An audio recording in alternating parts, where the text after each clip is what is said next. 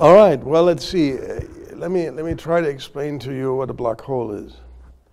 So, we all know about gravity. If I jump up now, uh, I'll come down immediately. In fact, I can't jump, don't jump up very well. You young one, you can jump better, but still you will come down. There's no way you will be able to jump up so far that you won't come down. So that's gravity. We know gravity. And we know that the gravity depends on uh, how massive an object is. The Earth is not very massive, but the Sun is already more massive. And in principle, you could imagine about very, very massive objects. And the question is, uh, what happens if an object gets ever more massive? Well, you know, gravity gets stronger. Another thing is clear is uh, if an object is more compact uh, with the same mass, then the gravity is also stronger. So if you take the Earth and you compress it in your mind to a few kilometers size, boy, will you have to jump to get any, even a millimeter away from, from your seat. So that's what we know about gravity, and that is something which Newton knew uh, 250 years ago.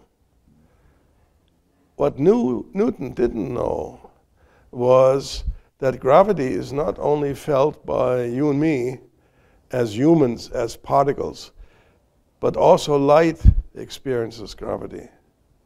So here comes the trick. If you are trying to send a rocket away from Earth, and we've done that now for uh, uh, almost 80 years on Earth, uh, then you need to have a minimum speed of the rocket to get away from Earth, which is about 11 kilometers per second. Uh, now, if the, if the Earth would be more compact, that speed would be greater. In fact, now, in your Gedanken, uh, you could say, well, suppose you uh, create yourself an object with the mass of the Earth, but one centimeter across, this far across, then you can calculate that the rocket would have to fly away from that one centimeter Earth with the speed of light or more. And that is not possible. And we know that through experiments.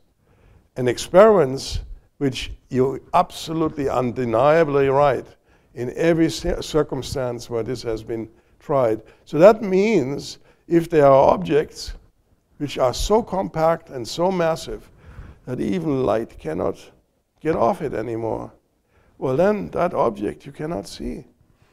That's a black hole. There it is. If you enjoyed the video, like and subscribe.